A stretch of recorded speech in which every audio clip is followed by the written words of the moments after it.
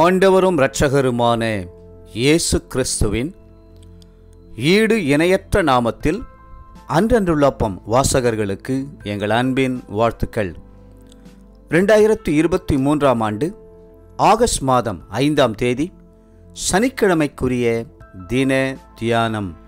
இன்றைய தலைப்பு மனத்தாழ்மையினால் இழைப்பாறுதல் மத்தேயு பதினொன்று இருபத்தி ஒன்பது சொல்கிறது நான் சாந்தமும் மனத்தாழ்மையுமாய் இருக்கிறேன்.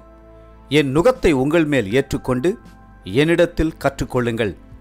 அப்பொழுது உங்கள் ஆத்துமாக்களுக்கு இளைப்பாறுதல் கிடைக்கும். இளைப்பாறுதலின் மூன்றாவது வழி மனத்தாழ்மையாகும்.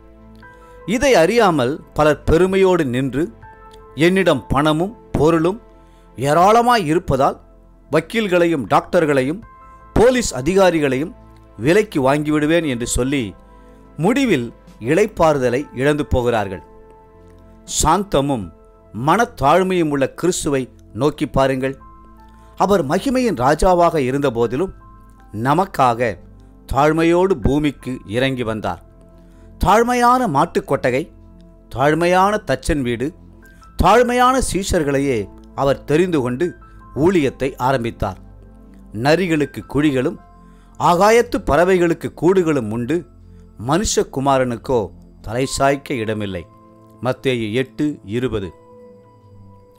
சிலுவையில் எத்தனையோ நிந்தைகளும் பரியாசங்களும் அவருக்கு ஏற்பட்டன. இருப்பினும் அவர் தாழ்மை உள்ளவராகவே காணப்பட்டார். தேவனுக்கு சமமாய் இருப்பதை கொள்ளையாடின பொருளாக எண்ணாமல் மரண பரியந்தம் தம்மைத்தாமே தாழ்த்தினார். கடலின் நடுவே இருந்த ஒரு பெரிய பாறையின் பிளவிலே ஒரு பறவை கூடு கட்டி இருந்தது. காற்றும் புயல் வேகமாய் வீசும்போது நான்கு பக்கங்களிலும் கடல் கொந்தளித்தது. அந்த பாறையின் மேல் அலைகள் கடுமையாய் மோதின. ஆனாலும் அந்த பாறையின் பிளவிலே இருந்த பறவையின் குஞ்சுகள் சமாதானத்துடனும் சந்தோஷத்துடனும் இளைப்பாரி இனிமையான பாடல்களை மீட்டிக் கொண்டிருந்தன. அதுபோலவே உங்களை சுற்றி உலகமே அலைமோதி கொண்டிருந்தாலும் கடல் கொந்தளித்து பொங்கிக் கொண்டிருந்தாலும் கடலையும் காற்றையும் அமைதிப்படுத்தி இறையாதே அமைதலாயிரு என்று சொன்ன ஆண்டவராகிய கர்த்தர் உங்களை சமாதானத்தோடும் சந்தோஷத்தோடும் இருக்கச் செய்து இழைப்பாறுதலையும் தந்தருளுவார். மூன்றாம் நூற்றாண்டிலே வாழ்ந்த தூய அகஸ்டின் என்ற அடிகளார் கிறிஸ்துவை ஏற்றுக்கொள்வதற்கு முன்பு அருவருப்பான வாழ்க்கை வாழ்ந்து வந்தார். குடியிலும் வெறியிலும் வேசித்தனத்திலும் உழன்று மன அமைதியையும் நிம்மதியையும் இழந்தார். அவர் எழுதினார் இளைப்பாறுதலின்றி அலைமோதிக் கொண்டிருந்த என் உள்ளம் கிறிஸ்துவை கண்டபோதோ அவரில் பூரணமாய் சாய்ந்து இளைப்பாறினது. இனம் புரியாத பயமும் திகிலும் உங்களை வாட்டும்போது இயேசுவண்டை ஓடி வந்துவிடுங்கள். இயேசு இயேசு என்று அவரது நாமத்தை தொடர்ந்து உச்சரித்து அவரையே துதித்து பாடி அவரில் சார்ந்து கொள்ளுங்கள். அப்பொழுது தெய்வீக பிரசன்னம் இனிமையாய் உங்களை நிரப்பும்.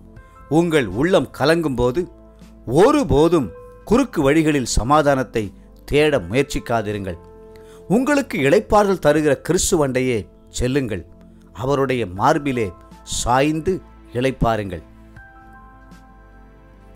இன்றைய நினைவிற்கு ரெண்டு நாளாகமும் பதினைந்து இரண்டு. சகல மனுஷரே கேளுங்கள். நீங்கள் கர்த்தரோடு இருந்தால் அவர் உங்களோடு இருப்பார். நீங்கள் அவரை தேடினால் உங்களுக்கு வெளிப்படுவார். அவரை விட்டீர்களேயாகில் அவர் உங்களை விட்டுவிடுவார். இன்றைய வேத வாசிப்பு காலை சங்கீதம் அறுபத்தி எட்டு மற்றும் அறுபத்தி ஒன்பதாம் சங்கீதங்கள். மாலை ரோமர் எட்டாம் அதிகாரம் ஒன்றிலிருந்து இருபத்தி ஓராம் வசனம் முடிய. அன்புக்குரிய அன்றனுள்ளப்பம் வாசகர்களே மீண்டும் உங்களை வாழ்த்துகிறோம். கர்த்தருடைய மார்பில் சாய்ந்து கொள்ளுங்கள். கர்த்ததாமே உங்களுக்கு பூரண இளைப்பாறுதலை கொடுத்து உங்களை ஆசீர்வதித்து மென்மேலும் உயர்த்துவாராக. ஆமேன்.